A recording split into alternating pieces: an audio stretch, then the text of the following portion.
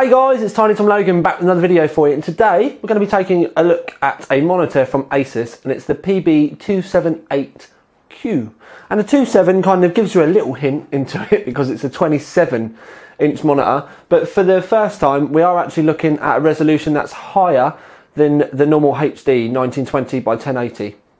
This is 2560 by 1440 so a big old resolution jump.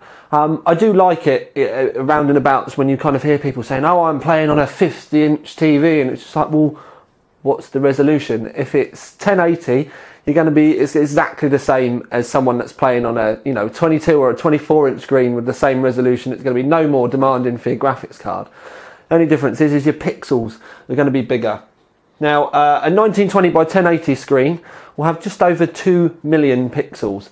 You go up to the 2560 by 1440 and you're looking at 3.6 million pixels. So if you think about that in a graphics card sense, there's almost um, 75% more pixels on this screen compared to a similar 1920 by 1080 screen. Now I have had um, 1920 by 1087 27 inch screens before and they are lovely, but I don't really want to go too much into the review in the kind of like the the introduction section of the video. But I think what's best is what we'll do is we'll bring the camera in, have a good look around like the outside of the monitor, the basic features and stuff like that. Then I'll hook it up to the rig and we'll we'll talk about some basics and you know the gameplay. One thing I will say right at the very beginning, it's really easy to kind of uh, just review the monitor in itself, and especially with the written review that's at Overclock 3D, the links underneath the, uh, the review would have been relatively short because we would have just been reviewing the monitor. But as this is the first time we've done a 2560 by 1440 screen, what we've also done is I've tested the 7950, the 7970, the 670 and the 680 across all of our games, including three new ones because we've now added in Medal of Honor Warfighter, um, Hitman Absolution and Far Cry 3. But we've run all of the games at 1920 by 1080, which was our previous kind of you know um, normal setting, but we've also added in the 2560 by 1440 revolt, results. So you can actually go in and directly compare the difference that you'll get from a like a normal HD um, uh, result with the larger resolution result. And I thought that was another really good way of being able to kind of show you the difference with these because not only have we done the range of games, we've also done the four you know, kind of most popular cards really that have got half a chance of being able to handle uh, the resolution, you know, that this screen has got to uh, deliver. So just remember that link is underneath. Uh, so if you want to go and see those results in the graphs, that's on the main website, and I would suggest you go and take a look because I'm not going to put them in the vid.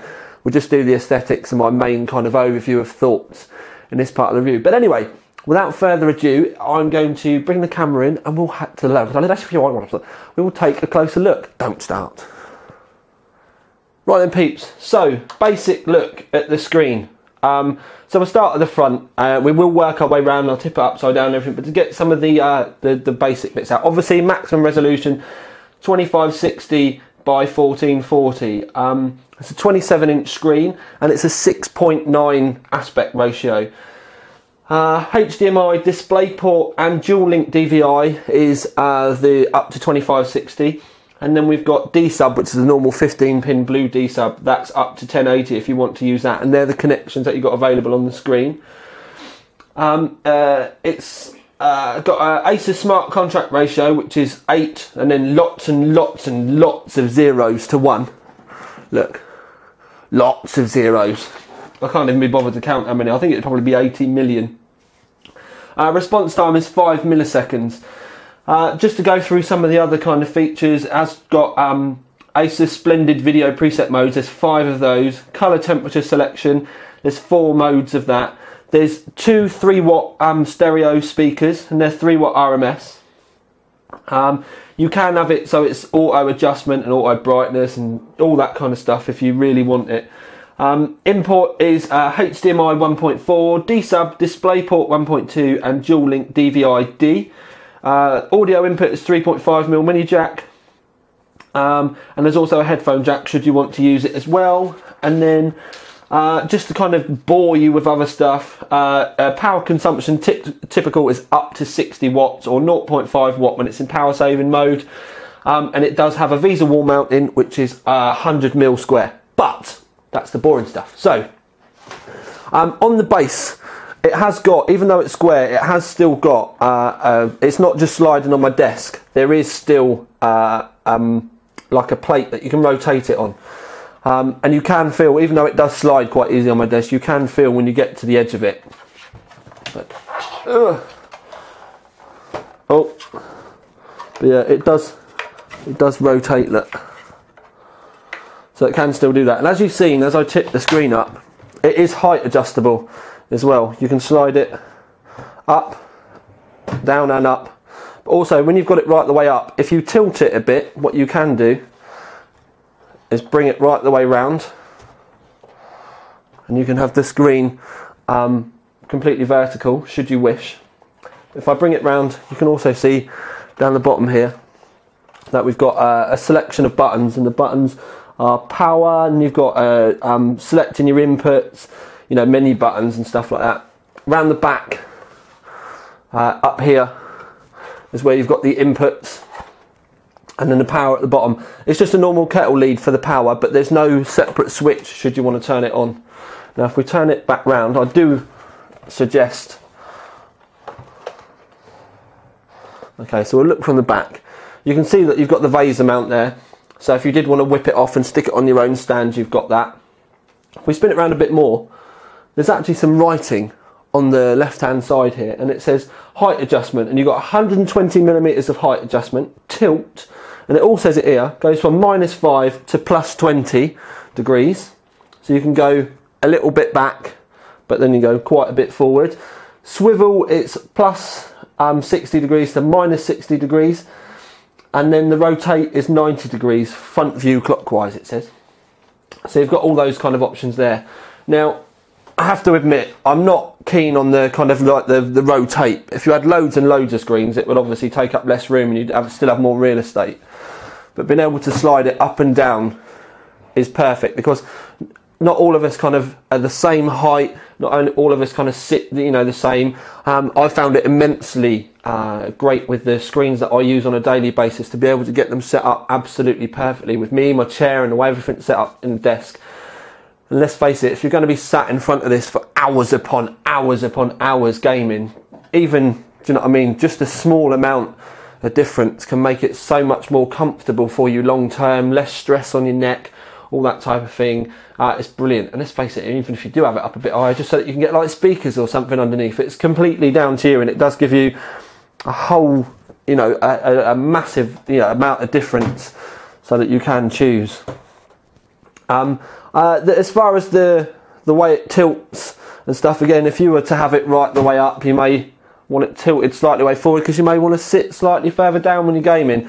It's it is just kind of an endless option for you to be able to choose from, really. But what I'm going to do is I'm going to uh, now we'll break off. We've kind of had a look at the screen itself. I'm going to bring the test rig in, hook it all up again so that you can see it on. I know you're only going to be able to see that the what your screen's letting you in. Obviously, the difference. Um, because like YouTube are going to take the you know a lot of the quality away from us and stuff like that. But try and be, describe to you as much as I can, um, and then we'll get things wrapped up in a conclusion. Right then, peeps.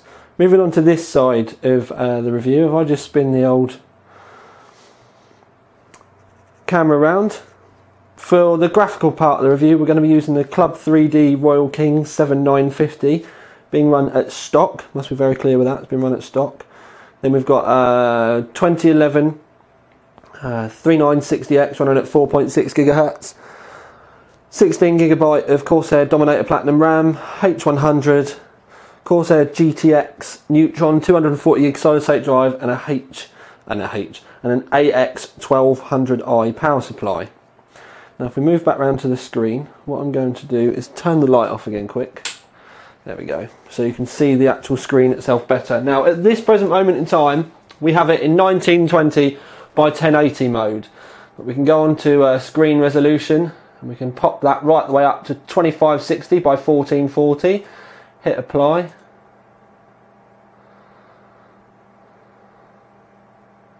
Now instantly you can see how on the screen how small everything has now got. And something I will say is straight away for me is kind of how much more kind of you're having to move your hand to move the mouse around. I've it got to me straight away that I was having to turn the uh, the um because I normally run my mice with quite a low DPI setting, sort of like 800 by 800 or 1000 by 1000. And I found that as soon as I was starting to use this screen, I needed to personally turn it up. That's just kind of like my own thing. And also, going from this resolution when I was uh, doing the benchmarks and stuff for the review to then turning right and going back to my 1080p screens, it made everything on the 1080p screens look enormous. Because uh, obviously everything on this is quite compact, you get so much more in there, which is again just to show you with the, the 2 million to 3.6 million pixel difference. So we've done that.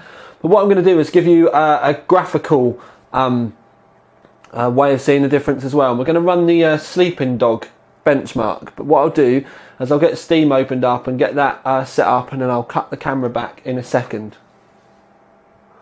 Okay then, so we're in the options, the display options in uh, Sleeping Dogs. If you go down you can see we've got 1920 by 1080. If you then hit Q, it goes into the advanced options. And in here we've got everything turned up you know, anti-aliasing's on extreme, everything that's on high that can be on high, everything that's on extreme, it's on extreme. It's basically absolutely maxed out. There's no FPS limiter or anything like that. We can't turn it up anymore. Um, if we then uh, hit Q again, it will go into a benchmark mode. And what I'll do is I'll let you watch the benchmark mode and don't forget it's in 1920 by 1080 at the moment. And we'll just let it cycle right the way through and then it uh, gives us um, some results at the end that we can see. It's not the quickest of benchmarks, but at least it gives us something quite visual that you can see. I know I've not got the uh, the speakers connected up at the moment, but it does give you something quite visual that you can see and hopefully be able to kind of gauge the difference between two. But obviously, with the results at the end, it will also give us something um, uh, concrete to be able to compare the performance difference on as well.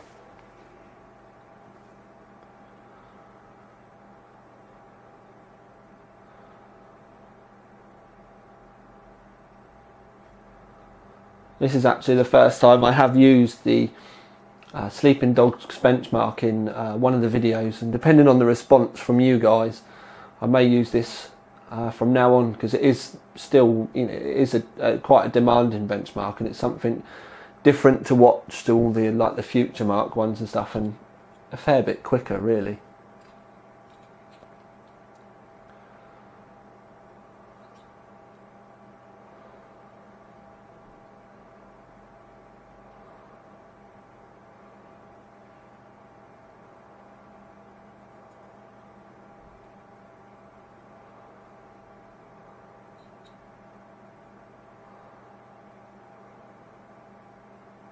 I don't know why this bit in the house, it doesn't matter what settings you have it on, you do seem to, it looks like tearing on the screen, but it does it with everything. I'm, I'm, I'm sure it must be kind of part of the benchmark and it is meant to stop there as well. Something else with the benchmark as well, even though we've got everything turned up, the anti-aliasing on that bit does look quite um, basic. But anyway, let's have a look at the results. So don't forget 1920 by 1080, 60 hertz. Uh, we've got an average frames per second of 37.9, maximum of 46.5, and then a minimum of 26. So that's you can see that it's a fairly demanding game. But you can also see if you look down at the bottom, VRAM, 3039. Uh, so th basically three gigabytes. Used all the video memory on that, but also you can see all the test results um, again. But what I'm now going to do is uh, I'm going to stop the camera quickly so I can write these results down and then I'll bring you back when we turn the resolution up. Right then, so we're back in the display options. So we're going to go down and we're going to change the resolution up, kind of live right in front of you. You can see that we've gone up to 2560 by 1440 at 60 hertz. So we'll sit, hit enter so it can change. Yes, please. Right, so we're on that. So then we hit Q we leave all the settings on exactly the same. So all we need to do is hit Q again and it starts the benchmark.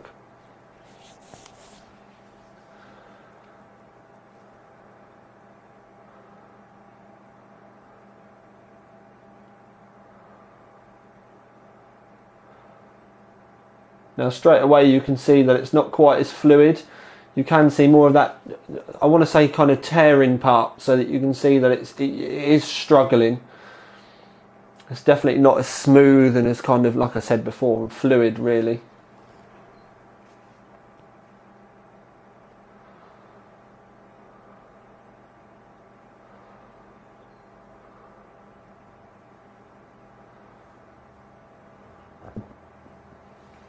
obviously we are running this with the card at stock that bit's you, you need to kind of keep that in mind but the uh, the club 3d 7950 is so ripe for overclocking it's daft it's almost kind of pointless buying uh, the club 3d royal king and then not overclocking it because the sample that i've got is immense I know a lot of people were kind of saying it was cherry picked and stuff, but literally was taken straight off of a retailer shelf. It wasn't picked just for me.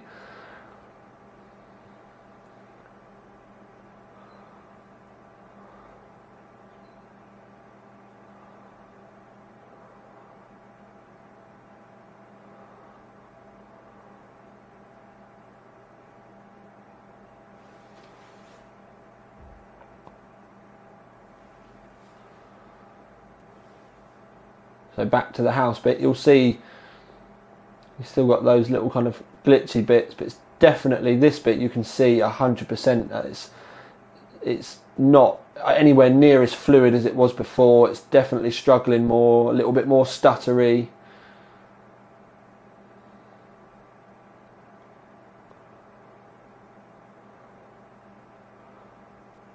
Especially when it started to factor in the, the outside as well. So, right, let me just write these results down so that I've got something to go by. 28.1, 15.8. Right, so we've got um, an average frame per second of 23 frames per second. That's down from 37.9. So you're looking at a 15 frames per second drop on the, the average. Um, maximum has gone from 46.5 down to 28.1. Uh, so with that, you're looking at kind of like 17, 18 frames per second. Uh, and then the minimum has gone down from 26 to 15.8. So uh, 10.2 frames per second drop on the um, uh, on the on the minimum. But as you can see, as, again, it's used all of the video memory up as well. So this game it definitely definitely loves uh, video memory, and with a, a, bigger screen like this, you probably are. It, it wouldn't it wouldn't hurt if you had more video memory, let's put it that way. What we'll do is with that's enough because I wanted to show you the way the screen looks and the difference that the screen has between the like the HD and the higher resolution. What we'll do now is we've we've seen the kind of performance differences as well, so we'll now move on, get everything wrapped up in a conclusion. Right then, guys and girlies, on to the conclusion. So the screen itself as you can see, it is a lovely screen. Asus are quite renowned for making um, really nice screens. And the, the PLS panel in this is not going to disappoint unless you're a proper kind of, unless you've got massive pockets, this just isn't going to disappoint you. Uh, when it comes to screens, I'm not particularly like massively fussy about my screens. As long as I can get it set up so I can sit in front of them for hours because obviously I, I use screens a lot and I'm always backwards and forwards that's what I'm really happy about. I know some people really like like the IPS panels and stuff like that but if you're if you're not one of those kind of uh, you've got like audiophiles so if you're not like a a screener file for want of a better term I can't really think about what you how you would kind of distinguish someone that's really into their screens. If you're kind of an average user then this is going to be more than you'll want. You'll be immensely happy with this screen. Um, but also, the, the kind of toss up really when it comes to 2560 by 1440 is you generally have one of these or you go down the triple screen route. Now, obviously, I've been fairly fortunate enough to be able to have, you know, test and played around with both. And I've, I've, oh, actually, I'll tell you what we'll do. Well, I'll tell you the award, and then we'll, because otherwise, otherwise, we'll get to the end of the conclusion, and I wouldn't have told you. But I'm going to give it a gold award. Anyway, so back to what I was saying about triple screens and stuff. With Eyefinity and uh, NVIDIA Surround, I have to admit it's never really caught on with me because when you have it set up on your desk, you for me, I want to sit further back so I can see everything. Otherwise, I don't see there's a lot of point, and it's it's all always stuff kind of happening just at the edge of your, your, your like your peripheral vision. And I've never been hundred percent comfortable with it, which was why when people were saying to me with the Nurburgring when I put that back together, where's your three screens? And it's just like, well, I don't actually like the three screens. Don't really feel a need for it even with my driving games and stuff, and I've got the, the extra plates to be able to put the, the extra screens around, and I've got the screens, and I specifically chose not to use them. But with this, if you've got the firepower, and you do need a lot of firepower to be able to run uh, a screen like this, because like I said, there's 75% more pixels that your, your card's having to render, and you've seen with our performance results, there's a fair old drop. And if you were to work out percentages, I mean, if you're going from 26 down to 15.8, that's like a 30% drop in your minimum frame rate. Um, and your average to go down from sort of like 40 or 38 down to 23, that's sort of like 40, 45% um, frame rate drops. Um, and 37.9, that's a lovely kind of nice fluid um, you, you could easily play it at those kind of average settings. And, you know, going down to 26 as a minimum, you're not really going to notice that too much because your average is always going to be fairly decent. But to go from that, you know, down to kind of 23, 28 and 15s, it's a fairly big drop. Now, obviously, you're kind of lucky with this Club 3D card, and most of them that I've seen do overclock. Um, you know, like the absolute balls out. They, they, they ravage when it comes to overclocking. But the point I'm trying to get is with this would kind of be a 7950 would be if you're going to be running intensive games. I know there's going to be people out there running the, you know, really kind of easy kind of stuff like Dirt 3 and Battlefield and stuff. I mean, Dirt 3, it's just, it's still up in the hundreds of frames per second, even with a basic card on this. If you're going to be running intensive games, so like Hitman Absolution, um, Medal of Honor Warfighter, uh, Battlefield 3, um, this Far Cry, you're going to need a card with a card with some fairly big kahunas hanging down underneath it because uh, the frame second difference is immense. Uh, video memory as well. That's something you sincerely, you know, need to kind of consider. Is that the fact that you've got more pixels, it's going to use more video memory, and not necessarily just um, Sleeping Dogs, but all of the games will use more video memory because it's got a lot more uh, game to kind of sit there and buffer and try and render up and everything. So it will it will ravage that. So uh, we're going to find out later on, but I'm going to be getting some cards in with more video memory in. So like four gigabyte 680s and six gigabyte 7970s to test on this. So that we can see how much that video difference does make. It's going to be kind of an interesting time for us now that we've got this screen on hand to be able to use going forward. Um, but I, I would personally, if someone said to me, you know, a, a gaming rig, what would you get, Tom? Would it be a single 2560 by 1440 screen or three HD screens? I would be saying, without a second doubt in my mind, you'd be better off with a single one of these if it's just for gaming. Um, obviously, I sit in front of three screens daily, as you've seen if you've seen my the, my setup. But I only ever use three screens for what I would call uh, workstation work. So when I'm rendering, doing my work, my emails, and I can have stuff all scattered all over the place.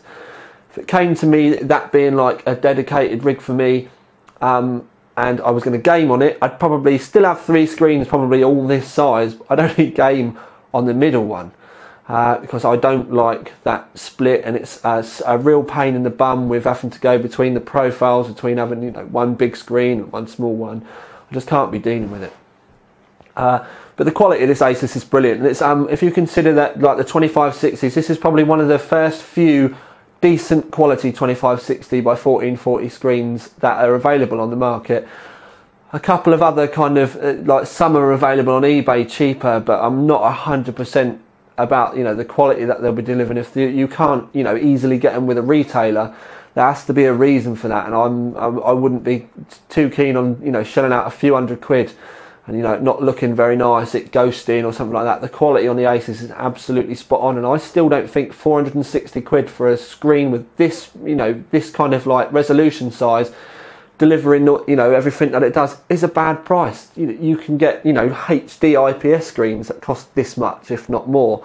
So for a gamer, if you've spent kind of two grand, let's say 1500 quid, two grand on your gaming rig itself, and that's the and then you're playing it on a crappy monitor that's really not going to be you know stressing any of your parts or anything there's not really a lot of point there. So if you go up to this it's going to give you that reason to you know want to upgrade this and you've got the ability to be able to wang the resolution up and really stress your rig and kind of get you know properly immersed in it.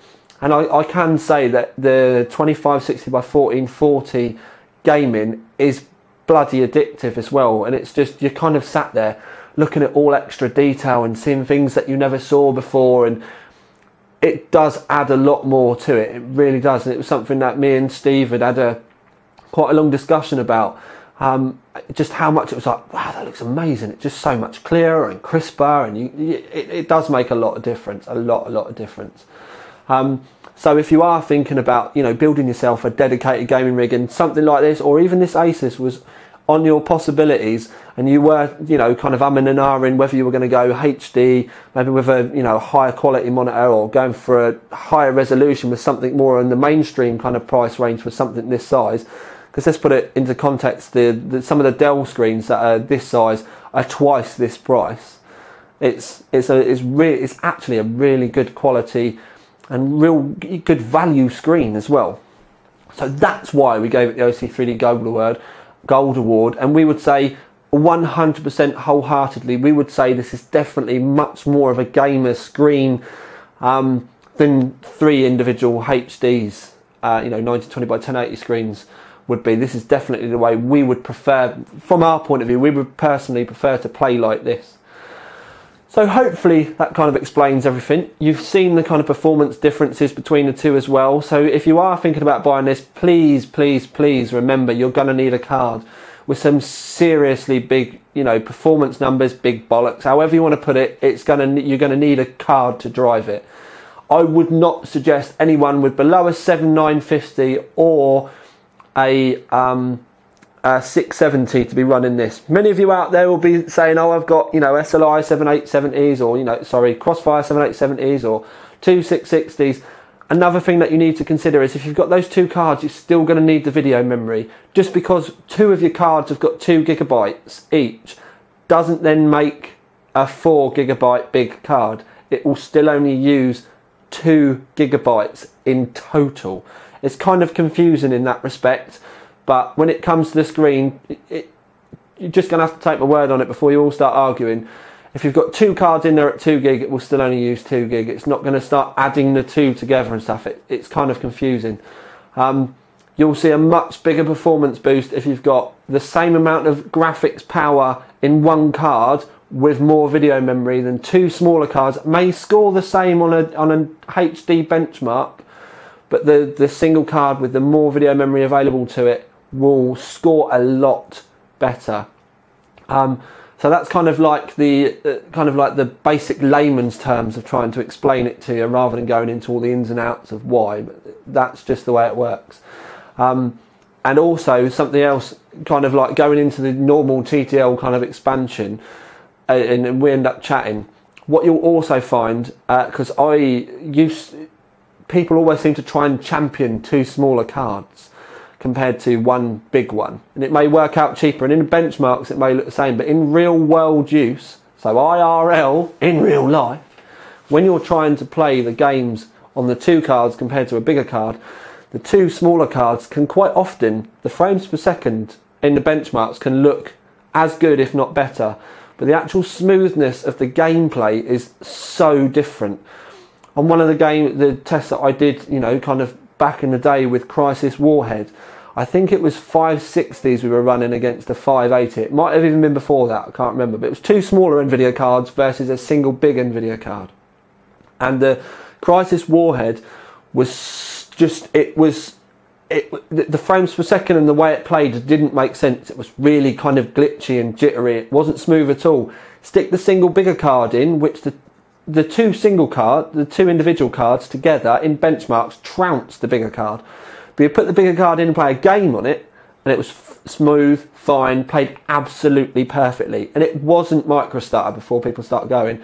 It was just the fact that the two cards couldn't handle everything that the game was trying to throw at it. So sometimes in benchmarks, individual cards teamed up look better, but in real life they don't play better. That will be the, exactly the same thing on this. If not, it uh, it will be worse. So it may look like 2560 by 1440 benchmark results will come out quite good, but when you go in and start playing it, it will be quite jittery. So you really want to be thinking of at least one card that can play it at this rate, and then maybe even adding an extra one for more.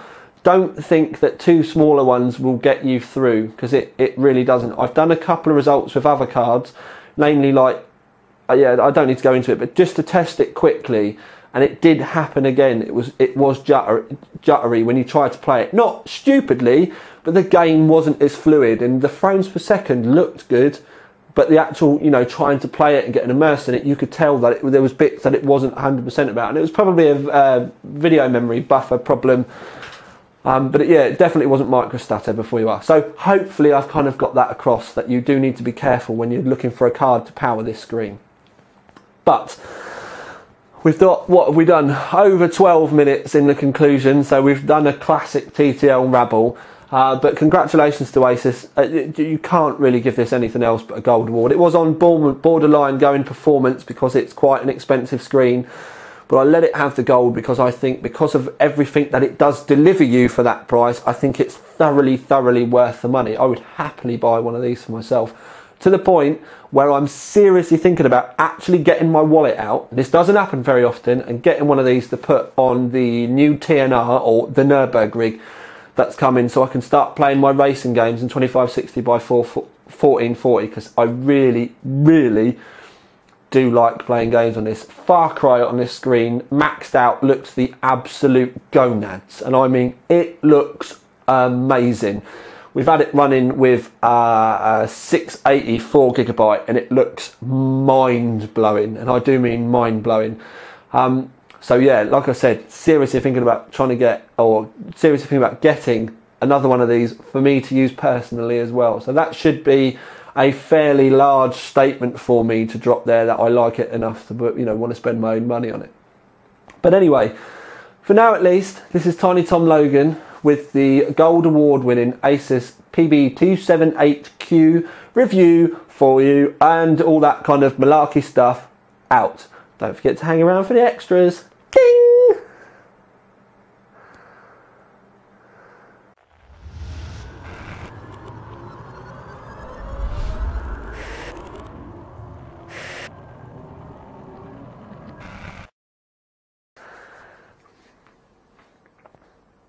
Hey guys, it's Tiny Tom Logan back with another video for you. And today we're going to be taking a look. today we're going to be taking a look at the Asus PB278Q. Yes. Shut up!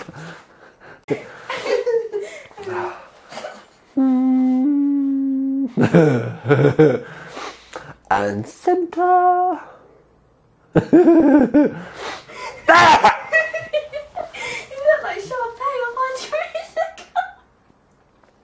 I look like what? Sarah from High School Musical when you do that centre thing. What? Yeah, because she does that. It works, and it just. she goes. And try and be normal. How the fuck am I meant to be normal?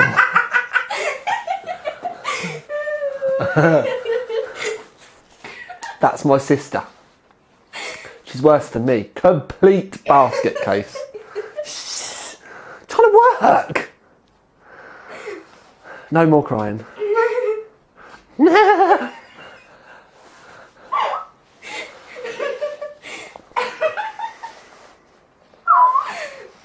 Finished? Obviously not. Done? Yes. Got it all out? No. yeah. Okay. Oh shit! Yeah, she's done.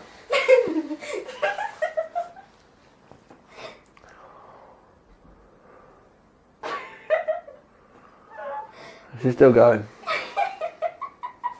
We've got to let it get it out because otherwise she'll start doing this halfway through me actually trying to do the review. I'm done. Done? Yeah. Sure? Yeah. Right, okay. Look at Not done, yeah.